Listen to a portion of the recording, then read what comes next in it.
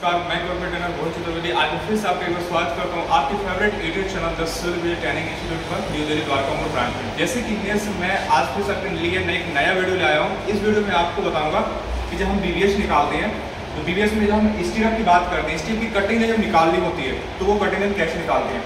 जब मेरे पास स्टीरअप rectangle shape में हो और स्टीरअप एक हो मेरा सर्कुलर शेप में जैसे कि मेरे सामने, मेरे पीछे एक डायग्राम बनाया रेक्टेंगल का और सर्कुलर का जो रेक्टेंगल शेप है, ये मैंने यूज़ किया हुआ स्टीरअप है मेरा बीम में। क्योंकि बीम में मैं कॉर्बल जो यूज़ करता हूँ, वो करता ट्वेंटी फाइव का, अगर सर्कुलर अगर कॉलम का होता तो कॉलम का होता तो मैं यहाँ कॉर्बल यूज़ करता फोर्टी एम का। अगर साइड में मेरा एक सर्कुलर स्टीरअप बना हुआ है, जिसमें मैं कॉर्बल यूज़ कर रहा हूँ फोर्टी एम का। तो इन दोनों की मुझे कटिंग लाइन निकालनी है। इनकी कटिंग लाइन कैसे निकालते हैं कैसे कैलकुलेशन करते हैं, वो मैं आपको इस वीडियो में बताऊँगा। कटिंग जो बीबीएस हम निकालते हैं। एक्चुअली क्या है कि बीबीएस निकालने से क्या होता है कि बजट हमारा कंप्रेस में रहता है। जब अगर हम एस्टिमेशन निकालते हैं और हमें एक्यूरेट वैल्यू मिलती है बीबीएस की। तो मैं देखता हूँ इसमें। सबसे पहले देखिए, बात करूँ रेक्टेंगल स्टीरअप की। रेक्टेंगल स्टीरअप में देखिए सबसे पहले बात करूँ इसके डायमेंशन की। और इसके जो गिवन डाटा है, इसके रेनफोर्समेंट जो मैंने स्टीरअप में यूज़ किया हुआ है। सबसे पहले बात करूँ मैं, जैसे कि मेरा आठ एम का स्टीरअप आठ एम का बार है जो उससे मैंने स्टीरअप बनाया हुआ है। आठ एम का स्टीरअप है, और इसमें जो ये दिख रहा है आपको, ये हुक लेंथ होते हैं। ये हुक लेंथ होते हैं, ये 135 डिग्री का होता है रेक्टेंगल शेप में, और सर्कुलर शेप की बात करते हैं तो वो होता है 90 डिग्री का। यहाँ पर है जो आपका हुक लेंथ ये आपको होगा 90 डिग्री का। अब इसके बाद करूँ तो 135 के मेरे दो हुक लेंथ हो गए थे। अब इसकी डायमेंशन की बात करूँ मैं तो डायमेंशन मेरा क्या है इसका? 200 200 मेरी इसकी एक लेंथ है और इस सेकंड लेंथ जो बी वो मेरी कितनी है? 600 सौ एम की। अब मुझे क्या करना है कि ये जो मैं स्टीरअप की कटिंग लेंथ निकाल रहा हूँ, वो स्टेप की मैं कटिंग लेंथ जो निकाल रहा हूँ, वो निकाल रहा हूँ सेंटर टू सेंटर क्योंकि I S code four five six two thousand के अकॉर्डिंग हम तो सेंटर टू सेंटर स्टीरअप की कटिंग लेंथ निकालते हैं तो उस केस में हम इसका जो बैंड रिडक्शन होता है, वो नहीं करते हैं। और सेंटर टू सेंटर में क्या, इसकी हमें सिर्फ़ लेंथ निकालनी होती है। जैसे बात करूँ, मेरी ए लेंथ जो टू हंड्रेड की है। ये आप देख रहे होंगे कि ए लेंथ जो मेरी रेनफोर्समेंट की यहाँ से, यहाँ तक की जो रेनफोर्समेंट की ए लेंथ है, मुझे ये निकालना है। मैं क्या करूँगी टोटल जो लेंथ है मेरी वो कितनी? टू हंड्रेड की।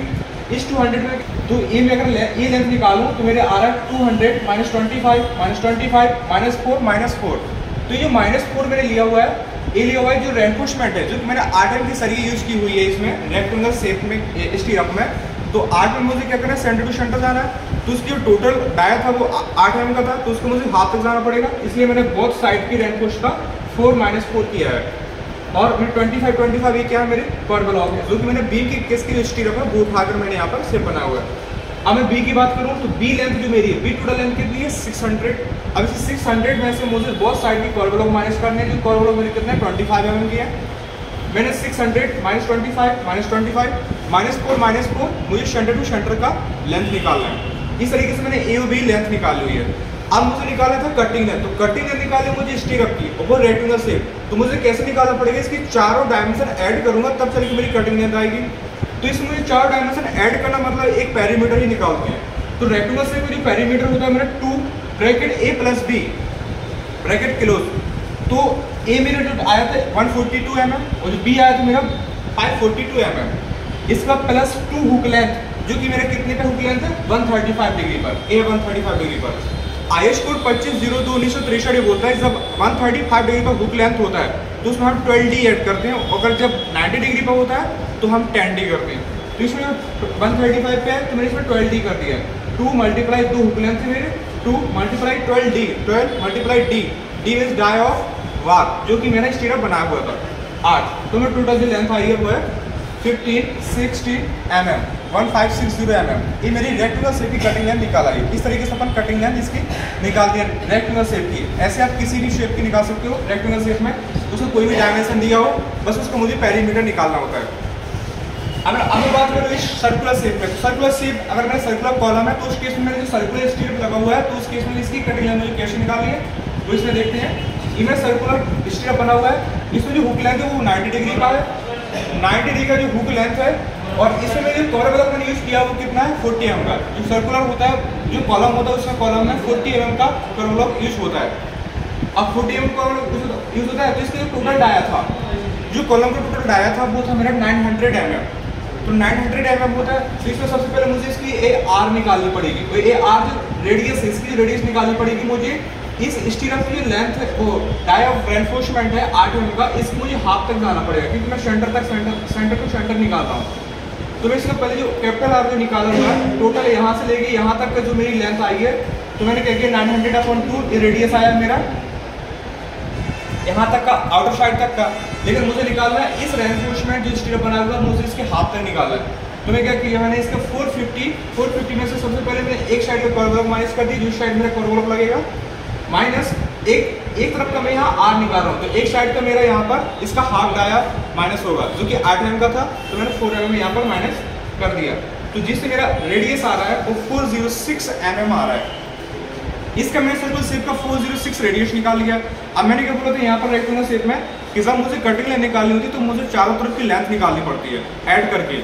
तो वो क्या होता है, एक पैरीमीटर होता है। ऐसे मुझे सर्कुलर का भी निकालना पड़ेगा। तो सर्कुलर का पैरीमीटर होता है, वो क्या होता है टू पाई आर प्लस दो हुक लेंथ यहाँ पर मेरे अवेलेबल कितने के? 90 डिग्री के। हैं तो दो हुक लेंथ 90 डिग्री पर।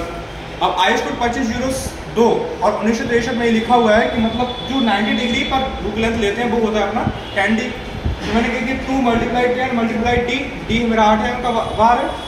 और टू टू पाई आर तो two multiply three point one four multiply R मेरी जो वैल्यू है फोर ज़ीरो सिक्स तो टोटल जो मेरी लेंथ आ रही है two zero two seven zero nine point six eight approximately मैंने सत्ताईस सौ दस एम एम कर दिया। इस तरीके से आपने रेक्टेंगल सर्कुलर सेप की जो स्ट्रीप है इसकी कटिंग लेंथ इस तरीके से निकाली जाती है।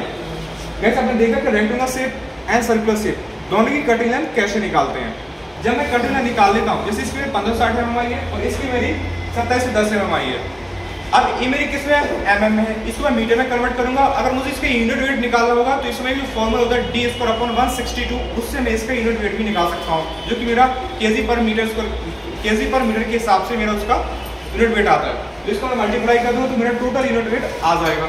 इस तरीके से इसके टोटल वेट और टोटल लेंथ इसकी निकालते पीवीएस की सो आई होप गाइस आपको वीडियो काफ़ी पसंद आया होगा और मैं यही उम्मीद कर रहा हूँ कि आपको ये वीडियो पसंद भी साथ साथ समझ भी आया होगा। सो so, आज की वीडियो बस इतना ही। मिलते हैं नेक्स्ट वीडियो में। तब तक जय हिंद जय भारत।